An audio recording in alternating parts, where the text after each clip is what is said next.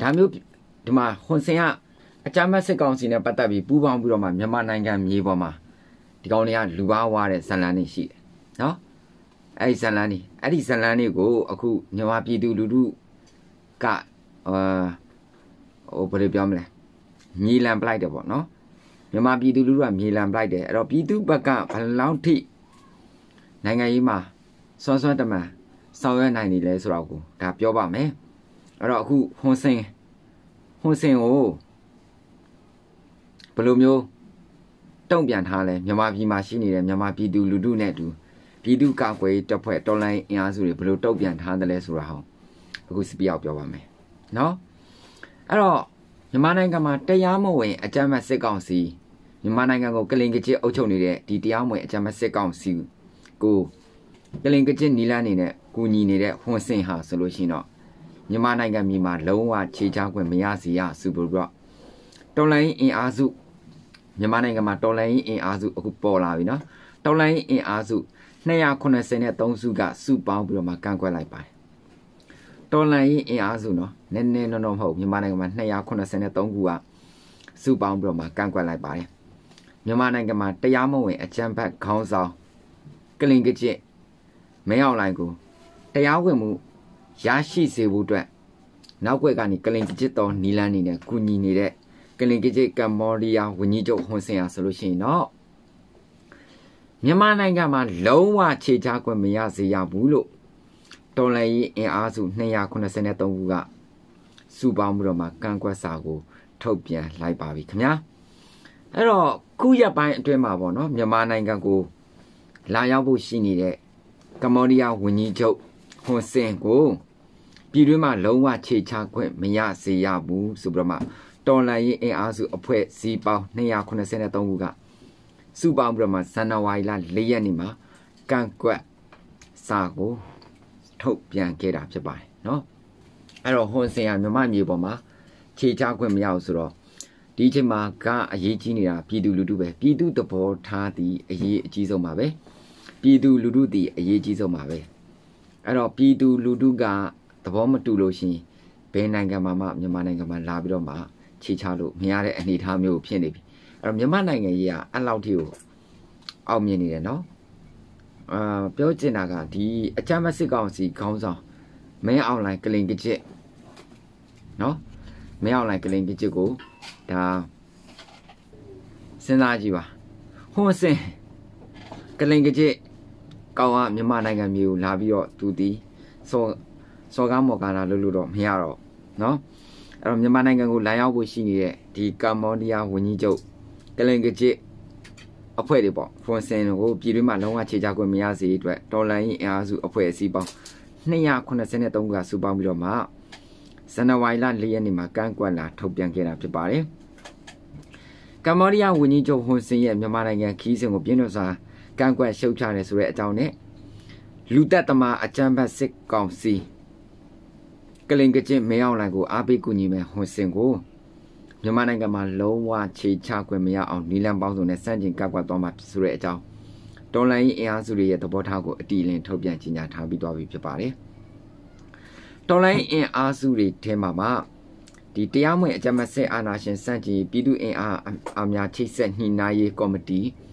မန္တလေးအထွေထွေပူးပေါင်းပိတ်ဆောင်ရွက်ရေးကော်မတီ GSCC မြန်မာနိုင်ငံအလို့သမားတပ်ပေါင်းစု LA တန်ခါသမကအဖွဲ့အစည်းပေါင်းစုံကိုရပေါင်းစုံ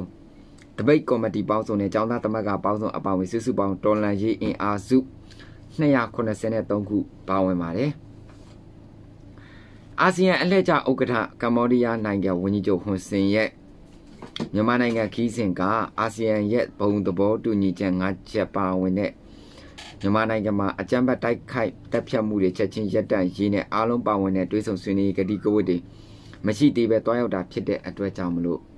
အာဆီယံရဲ့ဘုံသဘောတူညီချက်၅ချက်နဲ့မကိုက်ညီဘူးလို့တော်လန်ရေးအင်အားစုတွေကတော့ဒါတရားဝင်ထောက်ပြထားပြီးပါပါပြီ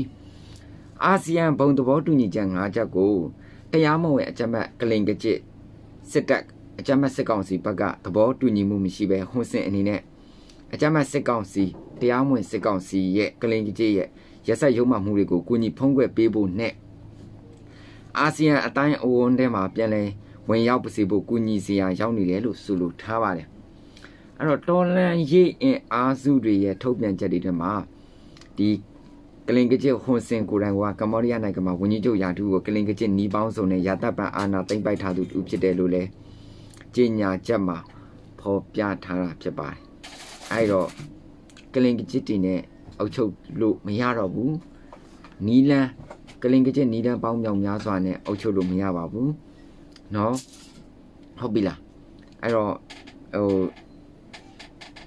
ဒီအကြမ်းဖက်စစ်ကောင်စီကိုကလင်ကကျစ်လာကူတဲ့ကောင်တွေလည်းနားကားမှာပဲအာဆီယံအဆင့်လောက်နဲ့လည်းတတ်မလာနေတော့မြန်မာနိုင်ငံဟာကမ္ဘာအင်အားကြီးနိုင်ငံတွေနဲ့เนาะဒီမိုကရက်တစ်နိုင်ငံတွေနဲ့မြန်မာပြည်သူလူထုဟာရှောင်းလန်းသွားပြီအော်တကမ္ဘာလုံးမှာမြန်မာပြည်သူလူထုက choice လုပ်တတ်သွားပြီဟို မြန်မာရေးရအမြင်အာဆီယံရေးရအမြင်တကမ္ဘာလုံးအမြင်ပြည်သူလူထုကမျက်စိပွင့်နားပွင့်ဖြစ်သွားပြီကိုမြန်မာနိုင်ငံအတွက်ကမ္ဘာလုံးမှာရှိနေတဲ့ဘယ်လူမျိုးဒီမိုကရက်တစ်နိုင်ငံတွေနဲ့လက်တွဲရမယ်အဲ့လိုလုပ်ရမယ်ဆိုတာမြန်မာပြည်သူလူထုကိုယ်တိုင်အဆုံးဖြတ်ပေးတဲ့ခေတ်ကိုရောက်သွားပြီနော်ဒါလုပ်ရမယ်ဒါလုပ်ရမယ်ဒါလုပ်ရမယ်ဆိုပြည်သူလူထုကိုအကြမ်းဖက်တဲ့နီးတွေနဲ့တွားပြီးတော့ပြောလို့မရတော့ဘူးပြည်သူလူထုက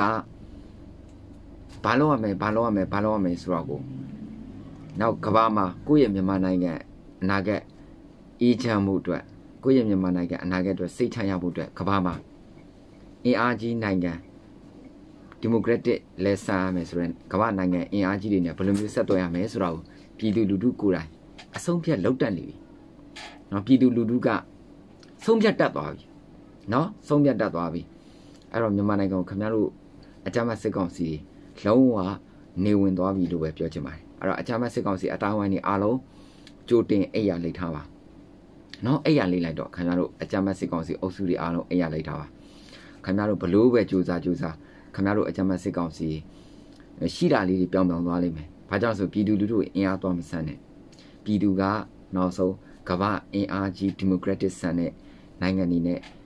ပေါင်းဆက်ပြီးတော့မှခင်ဗျားတို့အကြမ်းဖက်စစ်ကောင်စီတွေကိုတိုက်ထုတ်တဲ့ခေတ်ရောက်သွားပြီ။ နော်ဟုတ်ပြီလား။အဲ့တော့ခင်ဗျားတို့အကြမ်းဖက်စစ်ကောင်စီတွေကဘလို့ကြိုးစားကြိုးစားမနိုင်တော့ပြည်သူဟာစိန်ဆိုင်ကြီးလေးဘဝကနေဘာမှမရှိတဲ့ဘဝကနေကြိုးစားလာခဲ့တာအခုတဖြည်းဖြည်းနဲ့ပြည်သူလူထုကပင်လယ်ကြီးတဲ့ကိုရောက်သွားပြီဒီမိုကရက်တစ်ပင်လယ်ကြီးတဲ့ကိုရောက်သွားပြီအဲ့တော့ပြည်သူအင်အားအရန်ကြီးသွားပြီတကဘာလုံးဆိုင်ရာကိုကြီးထွားသွားတာတကဘာလုံးကတော့မှ နောက်ဆုံးပြောရမယ်ဆိုလို့ရှိရင်တော့လွတ်လပ်ရေးတော့မှပြည်သူလူထုနဲ့ပဲစကားပြောတော့တယ်မြန်မာနိုင်ငံလွတ်လပ်ရေးကိုပြည်သူလူထုနဲ့ပဲစကားပြောတယ်ခင်ဗျားတို့အကြမ်းဖက်စစ်ကောင်စီနဲ့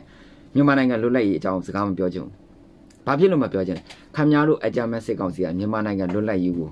အကြမ်းဖက်ပြီးပြန်ပြီးလူယူထားလို့တိမ့်ပိုက်ထားလို့ခမများတို့အကြမ်းဖက်စစ်ကောင်စီနဲ့လွတ်လပ်မြန်မာနိုင်ငံလွတ်လပ်ကြောင်းသူတို့မပြောတော့မြန်မာနိုင်ငံလွတ်လပ်ရေးကိုခမများတို့အကြမ်းဖက်စစ်ကောင်စီအုပ်စုတွေကလူလဲလူယူထားသေးတယ်ပြည်သူလူထုလည်းမပေးဘူးပြီးလို့ရှိရင်အဲ့ဒီလွတ်လပ်ရေးကိုလည်းခမများတို့ မြန်မာနိုင်ငံသူမြန်မာနိုင်ငံသားရဲ့လွတ်လပ်ရေးကိုလည်းခမများတို့ကပေါင်းနှံစားတောက်ထားသေးတယ်ပြီးလို့ရှိရင်ပြည်သူလူထုကိုခမများတို့ကကြုံခံခိုင်းတယ်အလုပ်တွေလုပ်ခိုင်းတယ်အကျွေးတွေဆက်ခိုင်းတယ်ခင်ဗျားတို့အကြမ်းဖက်စစ်ကောင်စီအုပ်စုအဖွဲ့တွေဘယ်လောက်ထိမှရိုင်းလဲခင်ဗျားတို့စဉ်းစားဘယ်လောက်ထိအောက်တန်းကြလဲစဉ်းစား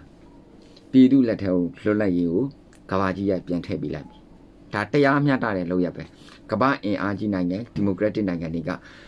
မြန်မာနိုင်ငံမြန်မာပြည်သူပြည်သားတွေရဲ့လက်ထက်ကိုတရားမျှတသောလွတ်လပ်ရေးကိုပြန်ထည့်ပေးလိုက်ပြီခင်ဗျားတို့အကြမ်းဖက်စစ်ကောင်စီတွေမြန်မာနိုင်ငံရဲ့လွတ်လပ်ရေးကိုချင်းထည့်ပြီးတော့မှပေါင်တန်စားတော့တဲ့ဟာတွေစင်းနေတော့ခင်ဗျားတို့ကဘာစစ်ခွင့်ကိုမှရှင်းဖို့တာပြင်ထားတော့နော်ဟုတ်ပြီလားမြန်မာနိုင်ငံရဲ့မြန်မာနိုင်ငံမှာရှိနေတဲ့တဘာဝပတ်ဝန်းကျင်တွေကအဲ့ဒါတွေအားလုံးအားလုံးတမိုးရှိအရာတွေကခင်ဗျားတို့အကြမ်းမဲ့စစ်ကောင်စီအလွဲသုံးစားလုပ်ပြီးတော့ခင်ဗျားတို့ လှုပ်ထားတဲ့ဟာတွေအားလုံးကကဘာစစ်ခွင့်ကိုမှခင်ဗျားတို့ရှင်းကြပါနော်ဟုတ်ပြီလားမြန်မာပြည်သူလူထုကတော့နိုင်ငံရေးမျက်စိကဘာအဆင့်ကိုပွင့်လင်းသွားတဲ့ခေတ်ပါနိုင်ငံရေးမျက်စိကဘာအဆင့်ကိုပွင့်လင်းသွားတဲ့ခေတ်ကိုရောက်သွားပါပြီအဲ့တော့ခင်ဗျားတို့အကြမ်းဖက်စစ်ကောင်စီအားလုံးကတော့အဲ့ရလိတ်ပါအဲ့ရလိတ်အဲ့ခင်ဗျားတို့အကြမ်းဖက်စစ်ကောင်စီတွေကိုဘာပြောချင်လဲဆိုအဲ့ရလိတ်ပါလို့ပဲပြောချင်တယ်နော်အဲ့ရမြန်မြန်လိတ်အဲ့ရလိတ်နော်အဲ့ရမြန်မြန်လိတ်အဲ့ရလိတ် ခင်ဗျားတို့ရဲ့အကြမ်းဖက်စစ်ကောင်စီ2022ခုနှစ်ကခင်ဗျားတို့အကြမ်းဖက်စစ်ကောင်စီတွေအဲ့ရလိတ်တဲ့ခေတ်တက်မလာနဲ့အဲ့ရလိတ်ရမယ်နော်ပြည်သူလူထုတော့မဆန်းနဲ့ပြည်သူမှာပြည်သူကာကွယ်တပ်ဖွဲ့တွေအင်အားတောင်းသွားပြီပြည်သူလူထုမှာပြည်သူကာကွယ်တပ်ဖွဲ့တွေရှိပါပြီနော် NLD ရဲ့ဒုတိယတပ်တန်း9နှစ်အုပ်ချုပ်ရေးကစီရေးနဲ့ခင်ဗျားတို့ကိုအနိုင်ပိုင်းသွားပြီတတ်တတ်လုံးမှတ်တာတတ်တတ်လုံးမှတ်တာနော်ဟုတ်ပြီလား NLD မဲမရှုံးဘူး NLD ဆက်ပြီးအုပ်ချုပ်သွားတယ်ပြီးလို့ရှိရင်ပြည်သူအင်အားနဲ့ပဲပြည်သူကာကွယ်တပ်ဖွဲ့ကိုရောက်အောင်ဖွဲ့ပြီးတော့မှပြည်သူအတွက်ကိုရောက်အောင်အကောင့်တွေပေါ်သွားတဲ့ခေတ်ကိုရောက်သွားပြီခင်ဗျားတို့အကြမ်းမစစ်ကောင်စီမလို့ Okay အဲ့ရတာလိတ်လိုက်တော့အားလုံးပြည်သူပိုင်းပြန်သိမ်းတော့မှာဖြစ်ပါတယ်ကျေးဇူးတင်ပါတယ်အောင်မြင်နေပြီလို့ပြောရပါအောင်မြင်သွားပြီပေါ့နော်အောင်မြင်သွားပြီဒါပေမဲ့ကျွန်တော်တို့ပြည်သူလူထုကအဲ့အဲ့ဒီအောင်မြင်တဲ့ flow တွေကိုကျွန်တော်ကထိမ့်သိမ်းထားပါစောင့်ရှောက်ထားပါ အဆုံးရှုံးမခံပါနဲ့အဲ့ဒါကတော့ဒီမနေ့ရက်ထူးခြားတဲ့သတင်းပဲဖြစ်ပါတယ်เนาะအဲ့တော့နောက်တဲ့ဘာတွေထူးခြားလဲဆိုလို့ရှိရင်ရန်ကုန်မှာဆိုလို့ရှိရင်တော့ဒါမြောက်တကုံအရှိတကုံမြောက်ကလာပါနဲ့မယန်းကုန်းတို့မှာယင်းဒီနေ့နေ့ပိုင်းမှာဘုံနေကွဲတယ်ဆိုတဲ့သတင်းတွေကိုကြားရပါတယ်ပြီးတော့မနေ့ကညမှာလည်းတာမွေမလွာကုန်းဘူလာမှာဘုံကွဲမှုမှာအကြမ်းမဲ့စစ်ကောင်စီဘက်ကစစ်သား3တေဆုံးနိုင်တယ်ဆိုတဲ့သတင်းတွေကိုလည်းကြားသိထားရပါတယ်ခင်ဗျာ ဒီပိန်းမှာတော့အကြမ်းမဲ့စစ်ကောင်စီတော်လိုင်းပြည်သူများချီတဲ့ဆန္ဒပြမှုတပိတ်တွေဆက်လက်ပြုလုပ်နေတယ်လို့လေးကီကောမျိုးတင်မှာတိုက်ပွဲတွေဖြစ်ပွားပြီးတဲ့နောက်မှာအကြမ်းမဲ့စစ်ကောင်စီတွေဘက်က၄ဦးတေဆုံးပါတယ်ခင်ဗျာယူမှာတော့အကြမ်းမဲ့စစ်ကောင်စီစန့်ကျင်ဆန္ဒပြပြရေးဇန်နဝါရီလ9ရက်မှာဆက်လက်ပြီးတော့မှကျွန်တော်တို့ဒါဆက်လက်ပြုလုပ်ပါတယ်မုံရွာအရာတော်လမ်းမှာလည်းစစ်ကောင်စီထောက်ပို့ရင်နှစ်ကြိမ်တိုင်မိုင်းဆွဲတိုက်ခိုက်ခံရပြီးစစ်သားအများပြားတေဆုံးနိုင်ပါတယ် ဇန်နဝါရီလ4ရက်နေ့မနေ့ကနနက်6နာရီမှာလည်းနှစ်ကြိမ်မိုင်းဆွဲတိုက်ခိုက်ခဲ့ပါတယ်နော်ရှားတော့ကိုစစ်အောင်ထိုးလာတဲ့အကြမ်းဖက်စစ်ကောင်စီတပ်တွေနဲ့ကရင်နီတပ်မတော်တို့ရေဆိုင်တပ်ပွဲတွေဖြစ်ပြီးအကြမ်းဖက်စစ်ကောင်စီတွေဘက်ကဒုတက်ရင်မှုကျော်သူဆိုးအပောင်16ဦးထပ်မံတေဆုံးတယ်ဆိုတဲ့သတင်းတွေကိုလည်းရရှိထားပါတယ်။ကရင်နီပြည်နယ်မှာရှားတော့မြို့ကိုစစ်ကြောင်းထိုးလာတဲ့အကြမ်းဖက်စစ်ကောင်စီတပ်နဲ့ကရင်နီတပ်မတော် KA KNDF တို့ကြား မနေ့ကဇန်နဝါရီလ4ရက်နေ့မွန်းလွဲတနအီမှာပွန်းချောင်းရွာအကျော်စစ်ဝင်တောင်လမ်းတက်လမ်းမကြီးပေါ်မှာနှစ်ဖက်ရင်ဆိုင်တိုက်ပွဲတွေဖြစ်ခဲ့ပါတယ်။အဲ့ဒီမှာအကြမ်းဖက်စစ်ကောင်စီဘက်ကဒုတက်ရင်မူကျော်သူဆိုးအပါဝင်16ဦးထပ်မံတေဆုံးပြီးအများပြတန်ရရှိခဲ့ပါတယ်။ KA တရင်လေးနဲ့ပြန်ကြားရေးထံကနေတည်ရပါတယ်ခင်ဗျာ။အဆိုပါထိတ်တရင်စံပွဲကနှစ်နာရီနီးပါးကြာမြင့်ခဲ့ပြီးတေဆုံးခဲ့တဲ့ဒုတက်ရင်မူကျော်သူဆိုးအလောင်းကိုနေကြားဆောင်တက်1334စကန် စင်ဝင်တောင်စခန်းတွင်ထားခဲ့တယ်ဆိုတဲ့အကြောင်းတိုက်ပွဲမှာ KNI ရဲဘော်တူခြေတော့ကတော့အနှဲငယ်ထန်ရရခဲ့ပါတယ်။ EG ကလည်းဒီသတင်းနဲ့ပတ်သက်ပြီးတော့မှထုတ်ပြန်ထားပါတယ်ခင်ဗျာ။တရားမဝင်အကြမ်းဖက်စစ်ကောင်စီတပ်ကနေကြားဆောင်တက်ကာလာကာလာလာတတဖွဲ့များကိုလက်နက်မပါပဲလူသားတိုင်းလမ်းပြအဖြစ်ခိုင်းစီနေပါတယ်စစ်ကြောင်းထိုးရလမ်းကြောင်းမှာလက်နက်ကြီးများရန်တပ်ပစ်တာတွေကြေးရွာများမှာညအိတ်တက်ဆွဲပြီးအများပြည်သူနေအိမ်နဲ့ဈေးဆိုင်တွေကိုဖောက်ထွင်းပြီးတော့မှအကြမ်းဖက်စစ်ကောင်စီတွေဘက်ကခိုးယူပါတယ် မိရှုဖျက်ဆီးခြင်းတွေကိုလည်းလှုပ်ဆောင်ပါတယ်ရှားတော့ဘက်ကိုစစ်ကြောင်းထိုးလာတဲ့အကြမ်းစစ်ကောင်စီတပ်ကိုကရင်နီတပ်မတော် KA နဲ့ကရင်မျိုးသားကာကွယ်တပ်ဖွဲ့ KNDF တို့ကအစွမ်းကုန်ခုခံတွန်းလှန်သွားမယ်လို့တိုက်ပွဲဟာပြင်းထန်လာနိုင်စရာရှိပါတယ်။နော်အဲ့တော့နေတိမြန်မာမှာရှိနေတဲ့မိဘညီကိုမောင်နှမတွေအားလုံး KNDF ကိုကျွန်တော်တို့ဝိုင်းဝန်းပြီးတော့မှထောက်ပံ့ကြပါစို့နော်။ကျွန်တော်တို့ခါတိုင်းလဲကျွန်တော်တို့ထောက်ပံ့နေတယ် KNDF တို့ခါတိုင်းကျွန်တော်တို့တခုခုဆိုလို့ရှိရင်တို့အမြဲတမ်းကူညီဖေးမှပေးနေကြတယ်ပေါ့နော်။ အဲအကြောင်းမလို့အခုဒီတိုက်ပွဲကအရေးပေါ်ကာလလည်းဖြစ်တဲ့အတွက်ကြောင့်အားလုံးဝိုင်းဝန်းပြီးတော့မှထောက်ပံ့ကူညီဖေးမှကြပါစို့လို့ပြောချင်ပါတယ်နော်ဟုတ်ပြီလားဒါအခုလက်ရှိဖြစ်ပြနေတာအခုအကြမ်းမတ်စစ်ကောင်စီတွေဘက်ကဒုတက်ရင်မူကျော်သူစိုးပါဝင်16ဦးထပ်မံနေတည်ဆုံသွားပါပြီနော်ဟုတ်ပြီလားကဲကြွစမ်းငစုံမျိုးနဲ့မှလည်းအကြမ်းမတ်စစ်ကောင်စီကိုမိုင်းခွဲတိုက်ခိုက်ပါတယ်အဲ့ဒီမှာအကြမ်းမတ်စစ်ကောင်စီဘက်ကစစ်သား3ဦးတည်ဆုံပါတယ်နော် ကဲကျေးဇူးတင်ပါတယ်ဒီနေ့မနက်ခင်းရဲ့ထူးခြားတဲ့သတင်းတွေကတော့ဒီလောက်ပါပဲเนาะထူးခြားတဲ့သတင်းတွေကတော့ဒီလောက်ပါမြမမြေပေါ်မှာငါအာဆီယံမှာဥက္ကဋ္ဌกว่าဆိုပြီးတော့မှလာကျဲလို့လည်းမရတခါလဲ no no no sorry ပြည်သူလက်မခံမရအကွက်ကအစကတည်းအမေစုကတခါလဲချထားပြီးသား frame ချထားပြီးသားပြည်သူကအဓိကပြည်သူနဲ့အတူပြည်သူဆုံးဖြတ်ချက်ကိုပဲကဘာကြီးကကြည်တော်မှာဖြစ်ပါတယ် အဲ့ဒါနိုင်ငံရေးအစစ်အဲ့ဒါနိုင်ငံရေးစစ်ပြည်သူနဲ့ပဲစကားပြောတာအဲ့ဒါနိုင်ငံရေးအစစ်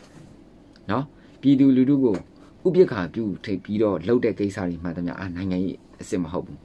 ချင်းနေပြီပဲအကြမ်းဖက်စစ်ကောင်စီခင်ဗျားတို့နားကားဖို့တာပြင်ပါကျေးဇူးတင်ပါတယ်